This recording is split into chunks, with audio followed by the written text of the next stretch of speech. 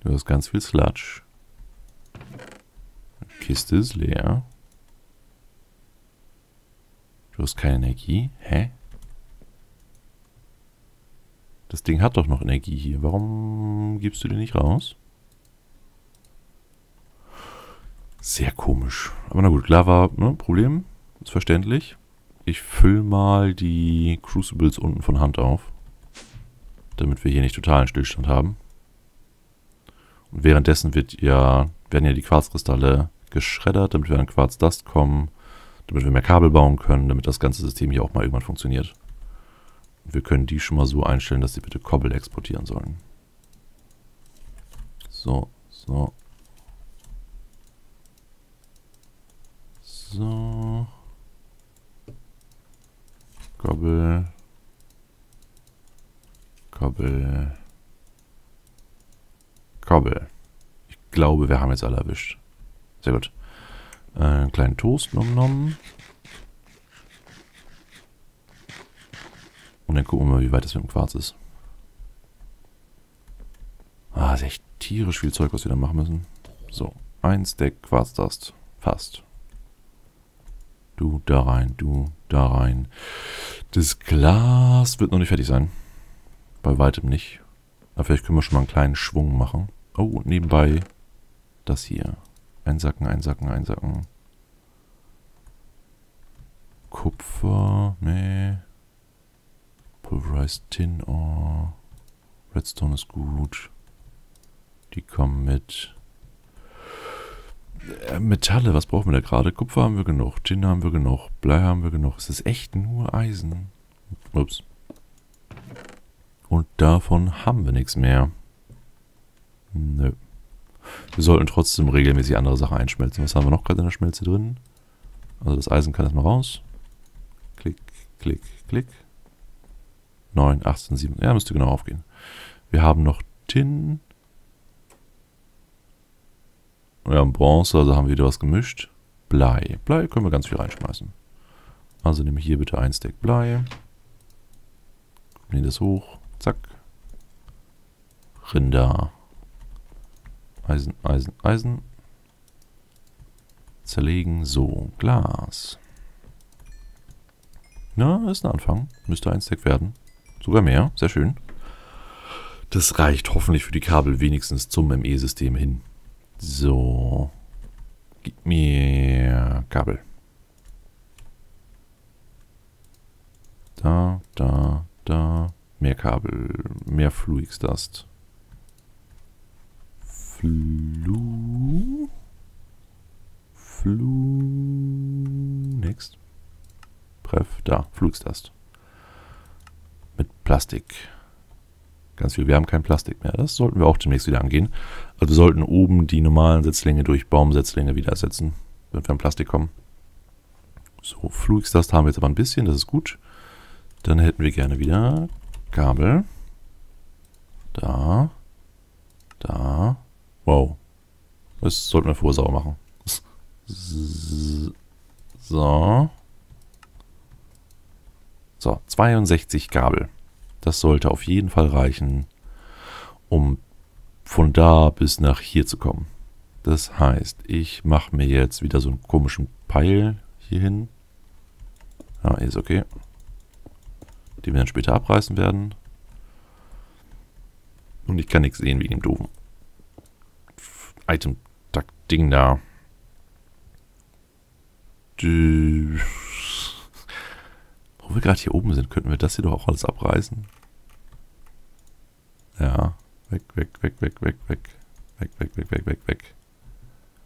Du kriegst später auch noch einen Exporter. Jetzt bist du erstmal nicht so wichtig. Du hast viel zu viele Setzlinge drin. Die brauchen wir alle gerade gar nicht. So. Das war die falsche Richtung. Du kannst weg. So, hier wäre mittig. Was machst du? Also, so, du warst für irgendwas da oben zuständig, für das Abpumpen von dem Planter. Okay. Da lang, da, da lang. Wir brauchen erstmal wieder ein bisschen Boden unter den Füßen. Zieh schon mal ganz durch und dann passt das auch. So, da ist das Kabel. Kabel, Kabel. Dann sollten sich die Crucibles zumindest schon mal alle durchgehend mit Kobbel füllen. Wir haben ja noch genug Kobbel im System. So, sehen wir da irgendwo irgendwas? Wir sind schon durchgehend voll, glaube ich. Ja, okay. Gucken wir einfach ein paar Folgen nochmal hin, ob die immer noch befüllt sind. Dann muss da noch ein Exporter hin. Und langfristig da an dem äh, Ignis Extruder auch noch einen Importer, damit wir einen Cobblestone-Nachschub haben. Eilt jetzt nicht, weil wir müssten noch zigtausend im System haben, aber ne? Für später wäre schon mal schick. Du kannst weg. So, du kannst weggehauen werden. Kommen wir gar nicht an. Okay, müssen wir von oben machen. So, weg. Weg.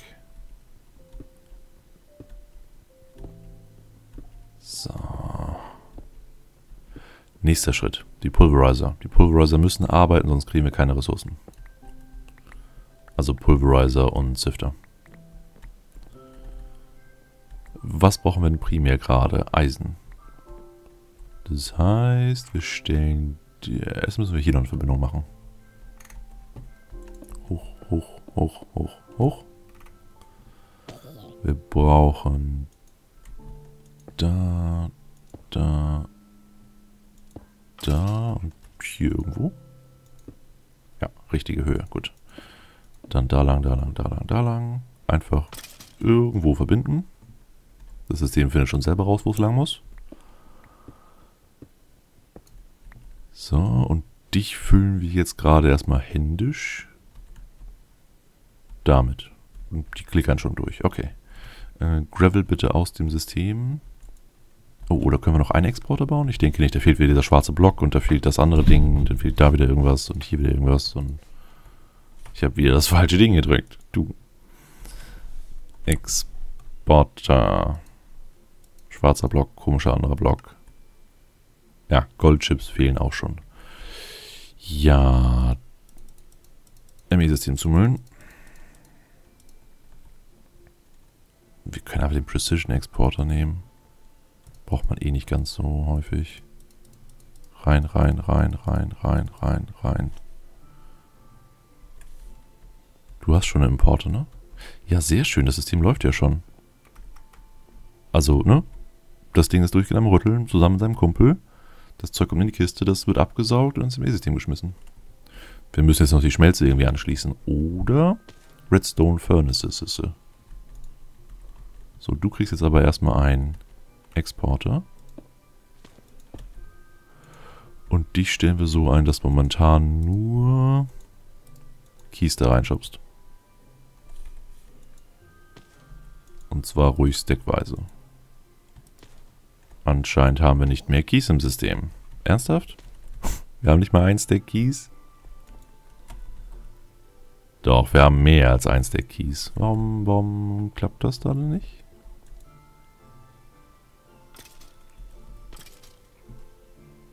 Ist durchgehend aktiv. Bewegt ganze Stacks. Lässt du dich nicht von... Achso, wir haben keinen Eingang äh, deklariert. Das ist natürlich verständlich. So, jetzt müsstest du dich ganz schnell füllen. Ja, sehr gut. Sehr, sehr gut. Also wir bekommen wieder Diamanten, wir bekommen wieder Emeralds. Wir bekommen die ganzen Erze. Auch wenn es diese komischen Kruddelerze sind, aber ist mir egal. Das wird automatisch eingesaugt. Nachschub haben wir noch keinen. Aber wir äh, haben 1200 Gravel, die erstmal gerüttelt werden müssen, bevor da irgendwas passiert. So, Diamanten haben wir einen. Ich hätte gerne noch einen Diamanten. Und dann bauen wir noch einen Rüttler. Damit wir ein bisschen hinterherkommen. So, nächste Zwischenschritte. Wir brauchen Anschluss hier.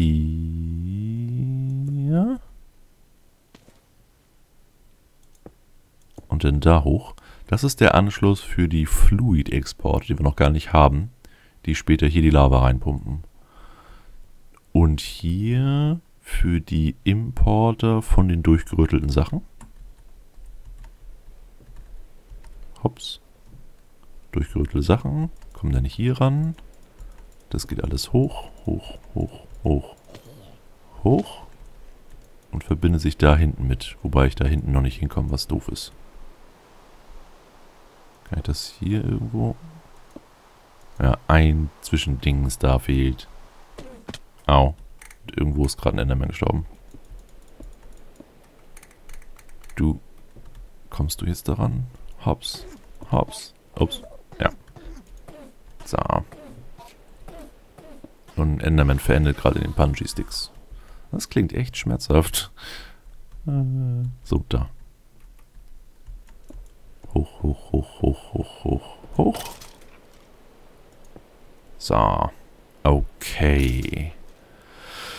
Das heißt, drei Exporter, drei Importer, Fluid Exporter, Fluid Storage, ähm, ja, und dann das Lavasystem anschließen. Also die Crucibles. Apropos Crucibles. Kriegt ihr durchgehend neue Steine, wie es sich gehört. Ja, du kannst weg. Äh, das läuft auch darum, das läuft darum. Hier können wir weiter auseinandernehmen. Die Sachen brauchen wir ja alle nicht mehr. Glaube ich. Hoffe ich. Ja. Okay, weg, weg, weg, weg, weg, weg, weg. Die macht nur Unordnung und unübersichtlich und alle möglichen anderen Unsachen. Du weg. Okay, dich lassen wir da stehen. Für dich brauchen wir noch einen Importer. Kommt aber auch später. Die endlose Wasserquelle hier, ja, keine Ahnung. Das kann weg. Du bist leer, kannst auch weg. Endlose Wasserquelle müssen wir echt gucken. Theoretisch können wir das Ganze ja über äh, Aqueous Accumulator machen. Und die pumpen das dann später über äh, Fluid Importer ins ME-System. Dann haben wir durchgehend genug Wasser im ME-System. Und dann lassen wir alles darüber laufen. Dann brauchen wir auch keine Wasserquelle mehr. Was dann hier aber auch wieder Platz und optisch doch recht schick aussieht. Also weniger Platzprobleme und es sieht besser aus als das hier. Definitiv.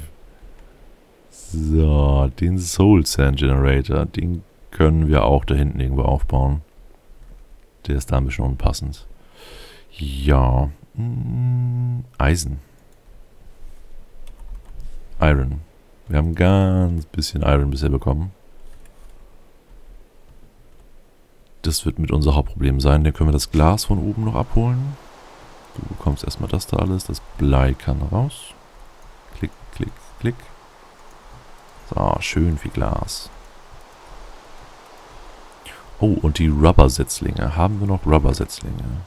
Ja, haben wir. Dann hätte ich gerne kurzfristigen Zugriff auf den Planter. Genau auf dich. Wir hätten gerne das hier alles raus. Wir hätten gerne das da alles rein. Achso, und so. Dann muss das Dirt wieder wieder hin. Wo ist das Dirt hin? Da. Dirt wieder rauf. Und das hier alles einmal weghauen. Dann müsste er theoretisch alles nach und nach ersetzen durch genau die da. Die werden dann abgeholzt. Wir kriegen komisches orangenes Holz, was doof aussieht. Aber es tut, was es tun soll. Oh, und wir müssen noch... Kamikaze! Wir müssen noch hier einstellen an dem Exporter. Dass er nicht mehr die da exportiert, sondern die da. So, jetzt kriegen wir komisches orangenes Holz, aber wir kriegen auch Rubber. Also Raw Rubber, das dann erstmal noch gebrannt werden muss zu Raw Plastic. Und Raw Plastic können wir benutzen, um das Rezept zu strecken für die Kabel unter anderem. Das heißt, auch dafür sollten wir ein Redstone Furnace. Guck mal ganz kurz. Davon sollten wir ganz viele bauen eigentlich. Und den kriegt jeder Gegenstand einen eigenen Furnace.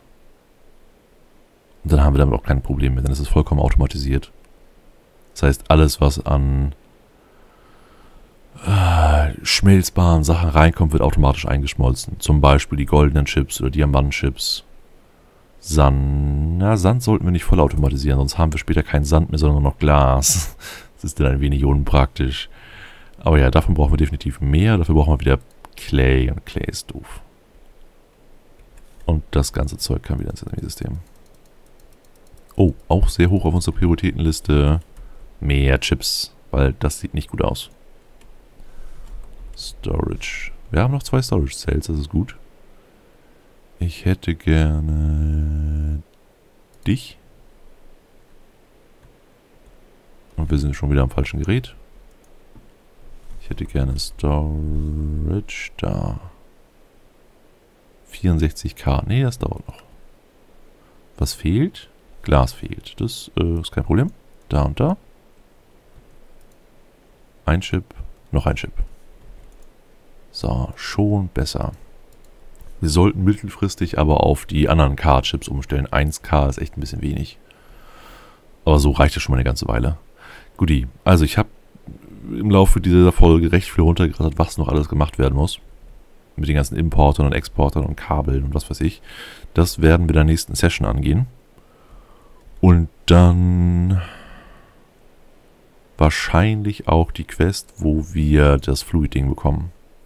Also die Dinger müssen wir machen, um das hier zu bekommen. Ein volles Leben, vier Interface-Teile, die man immer braucht, ein Bag und ein Yellow Heart Kanister. Die Dinger sind sehr praktisch, die sorgen dafür, dass man über Cap Lebenspunkte hat. Momentan haben wir 10 Stück. Wenn wir davon jetzt einen reinstellen, haben wir glaube ich 10,5 oder 11. Da kommt dann nochmal eine neue Anzeige über die roten Herzen rüber. Die ist dann gelb. Das heißt, man kann dann bis zu 20 Herzen haben. Und wenn man dann die grünen Kanister noch benutzt, dann kann man bis zu 30 Herzen haben. Und immer mehr, immer mehr, immer mehr. Es geht, glaube ich, bis 40 am Ende hoch. Was schon ziemlich überbauert ist. Ähm, aber ja, ist definitiv auch praktisch. Aber danach, die Quest da, die müsste das sein, wo man am Ende die Flüssigkeitschips bekommt. Oder einen sehr großen zumindest. Und das spart uns schon mal Ressourcen. Also da werden wir auch noch hinschielen. Jo, sehr schön. Also das ME-System entwickelt sich prächtig. Es assimiliert langsam alle Maschinen, verknüpft alles, auch einigermaßen ordentlich. Alles schöner Decke lang. Keine komischen Kabel mehr, auf die man langlaufen kann, hier zumindest. Ähm und wir müssen jetzt nur nach und nach die Sachen optimieren, damit es alles soweit klappt. Und dann können wir uns auch mal um ein anderes Projekt kümmern. Wobei ich sagen muss, gerade das Optimieren mit dem ME-System macht mir mit am meisten Spaß. Aber es wird uns auch immer wieder noch auffallen. Also jedes Mal, wenn wir mit einem neuen Mod-Paket anfangen, kann man da mit dem ME-System was dran rumfriemeln, dass es wesentlich einfacher funktioniert. Aber das müssen wir dann schauen, wenn wir soweit sind. Also bis denn.